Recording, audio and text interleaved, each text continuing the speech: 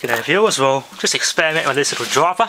I found the primary of this old flyback. It's the two big uh, windings just have the, the most cable. It's got uh, three, looks like 22 or so gauge wire.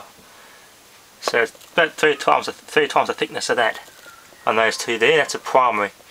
I tried it on this one, I didn't get as much of a spark. I tried the original proper flyback primary and they're getting more of a spark. So um, M3 SCA1, I think it is. He suggested it to me to vary the frequency uh, to vary the frequency on the 555 and it varies the frequency on the output. Put a variable resistor on that. This one here across um, the 555. It has a variable frequency on the output, and it works. I got a not sure what value that is. It's one of the um, red, green, and blue gun color adjustments off the old um, Nokia Cellular TV I scrapped a while ago, which is just too far gone. There's videos on these before, in this kit I got here. So I'll just try on which one has the most uh, frequency. So I'm going to turn it down, just goes to normal, turn it up. I could pretty much double or triple the frequency of the output of this. So we'll connect. As you can see,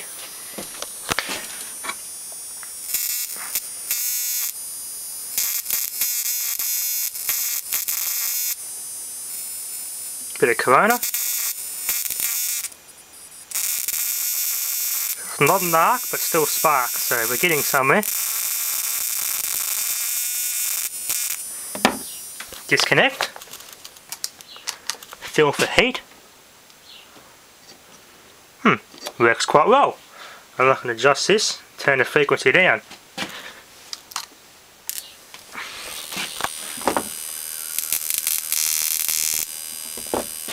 The screwdriver and I can adjust this.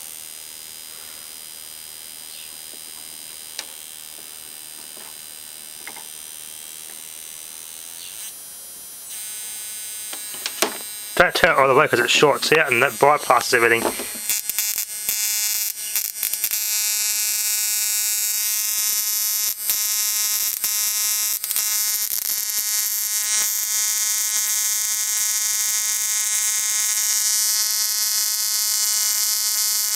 Disconnect. Yep, that's the ballast. This is, eh, it's warm, but not under any stress. So this is acting as a ballast, this resistor. That's why it gets so damn hot. And it came disconnected. Turn it right up.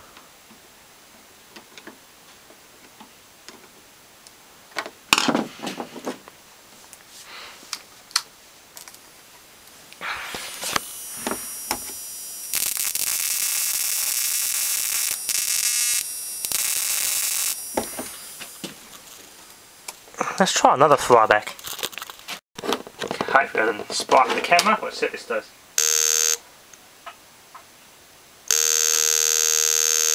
Tiniest little spark on that.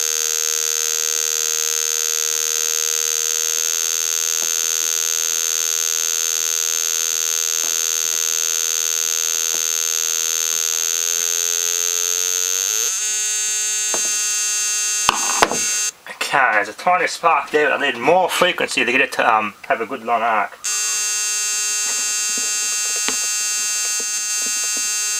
Yeah, depends on the flyback, see, because the other flyback I used previously, um, this is an AC flyback, there's no internal diodes or anything in it, so it's perfect for this sort of driver.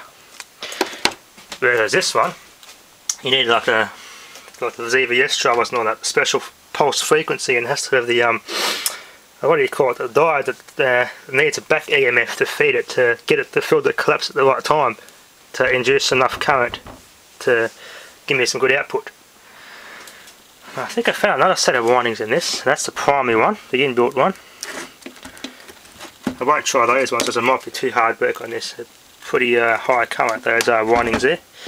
Let's try this other one I got think that was one of the secondary or second primaries or whatever I was doing at the time. So I'll try that one. There's a few coils in here. Oh, see what that does. Okay, I've still got driving the flyback. That's better.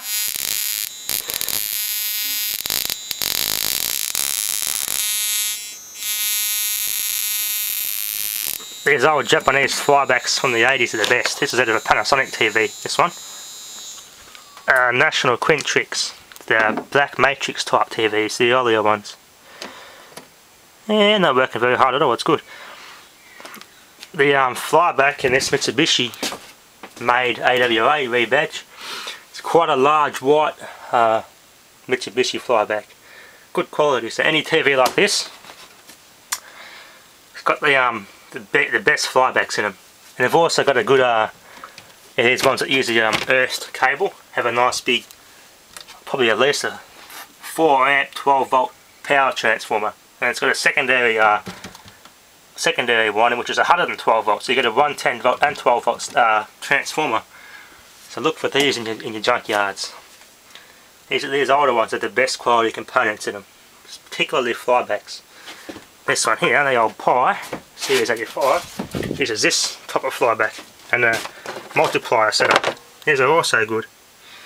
They're very delicate, you got to be very careful how you handle them. They're also um, very handy to have, as you can pull the thing completely apart and wind your own on the um, ferrite core. Let's get back to this and see if I can vary that more. Right, let's try that.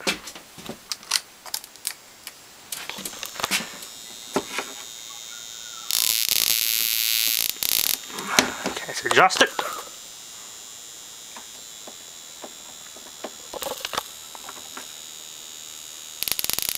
Yeah, see? Frequency is very critical with these flybacks. There's a lot of a lot of trial and error involved when you're playing with flybacks. It's not actually arcing, it's sparking.